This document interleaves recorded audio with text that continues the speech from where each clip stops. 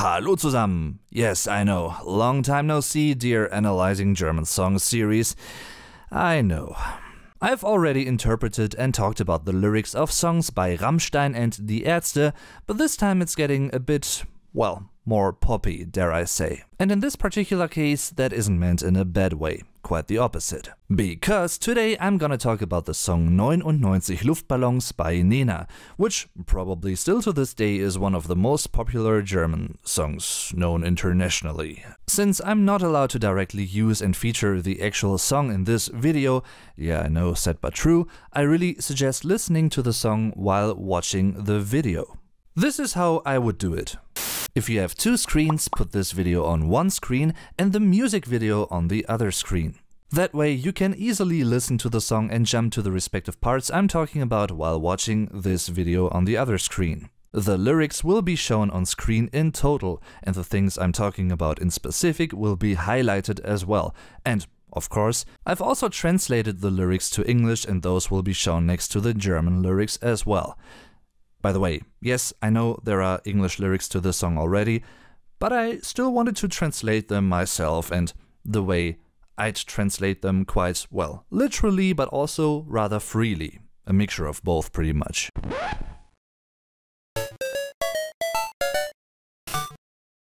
Neunundneunzig Luftballons, 99 Balloons, is a song by the German singer and eponymously called band Nena. It was first released in 1983, both as a single and on the band's eponymous album. It was composed by the quite famous German songwriter Uwe Fahrenkrog-Petersen and the lyrics were written by Carlo Karges. This song in particular is still considered one of the most popular songs of the Neue Deutsche Welle genre, which pretty much was a highly popular wave of new wave music and a more punk rockish type of pop music in Germany during the late 70s and the 1980s. The whole first verse is a more or less independent introduction to the story that's about to be told and unfold throughout the song. Each verse is a continuation of the previous one with additional and more detailed details. Makes sense. At only 4 seconds in, Nena directly asks the listener if they have some spare time in order to listen to the song, so instead of talking to a specific, maybe even fictitious person, she's rather breaking the fourth wall right from the get-go, so to speak. She is addressing you. Hast du etwas Zeit für mich? Dann singe ich ein Lied für dich von 99 Luftballons auf ihrem Weg zum Horizont. And no, I'm not gonna sing that. Sorry. At this very early point in the track, you might even expect a very romantic song about peace and white sunny sky and cute rubber ducks and uh, stuff. But no, the song actually takes an interesting turn during the second verse in general, and from the second half onwards in particular. In a way, the very first line in the second verse actually marks the indirect beginning of the song, since Nena, or rather the lyrical I, das lyrische Ich, has offered to sing a song about 99 balloons in the first verse.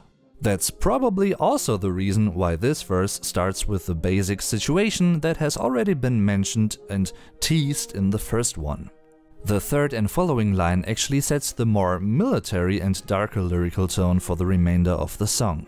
99 Luftballons auf ihrem Weg zum Horizont hielt man für UFOs aus dem All. Darum schickte ein General eine Fliegerstaffel hinterher. Yep, that escalated quickly. As a side note, I really like the change of pace and tempo at the beginning of this verse, which underlines the growing intensity of the lyrics very well, so it really accompanies that quite directly. Generally speaking, on both the lyrical and musical side of things, this song heavily breathes the zeitgeist of the 1980s, which, by the way, is a German loanword. It's der Zeitgeist, the time ghost so to speak. At this point in time, the Cold War, der Kalte Krieg, was still happening, it was still going on, and no one really knew what was gonna happen next.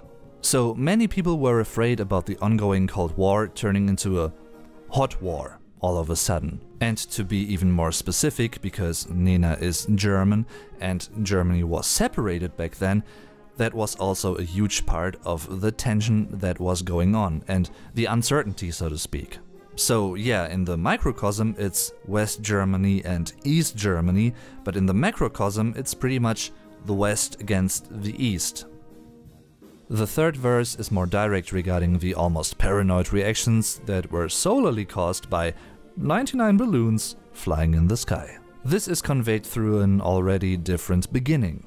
99 Düsenflieger, jeder war ein großer Krieger, hielten sich für Captain Kirk, Es gab ein großes Feuerwerk. The fearful and uncertain, almost paranoid reaction by the neighbors, most likely again referring to the conflict between the West and East Europe back in those days, is highlighted especially in the second half of the verse. Die Nachbarn haben nichts gerafft und fühlten sich gleich angemacht. Dabei schoss man am Horizont auf 99 Luftballons. People on one side of the Iron Curtain, der eiserne Vorhang, did something pretty harmless, but the neighbors, meaning people on the other side of the curtain, were alarmed and presumed the worst scenario.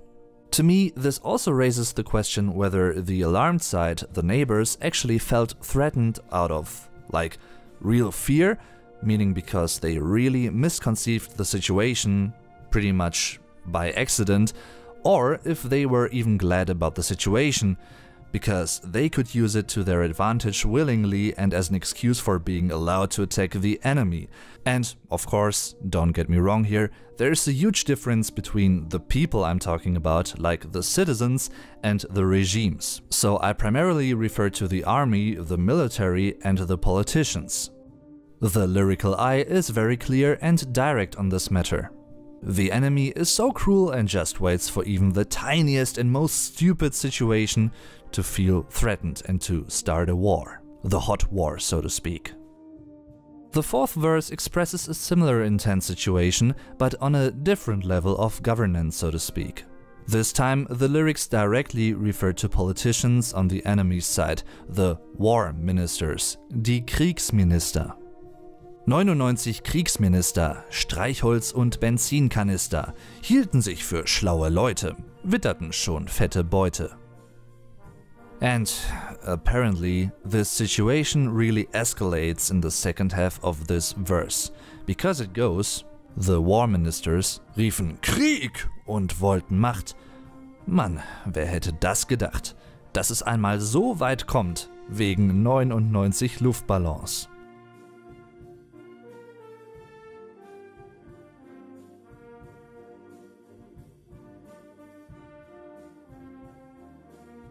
The fifth and last verse talks about a time period in the future. So there's quite a huge jump in time now.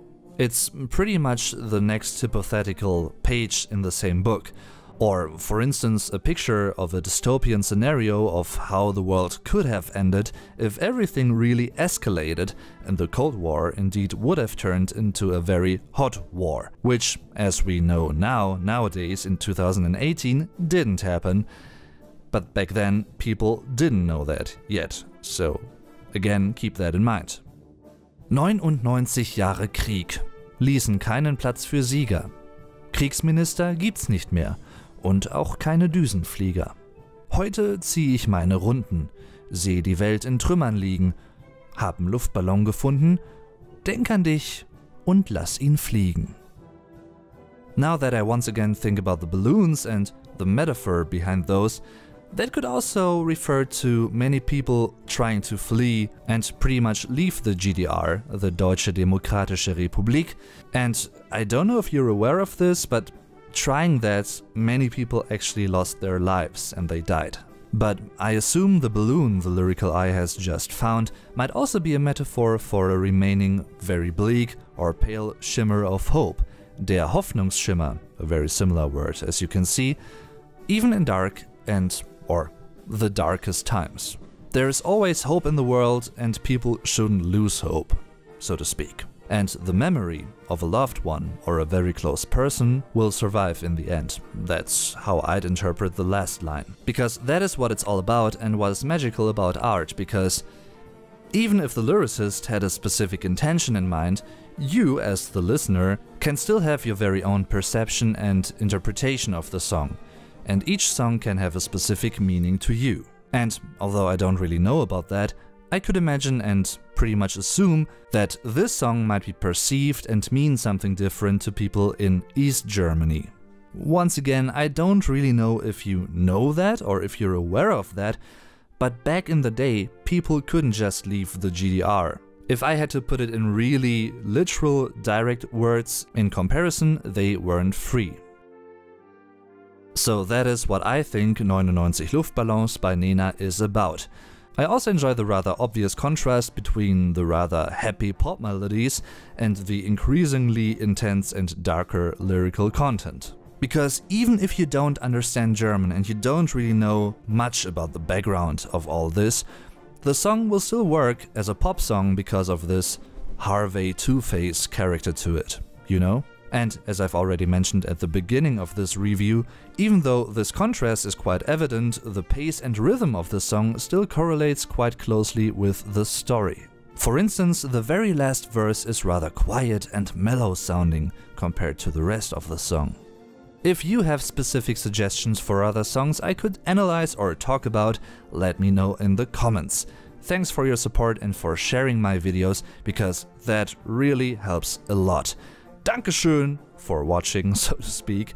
I'm your Vlog Dave. Tschüss und bis zum nächsten Mal.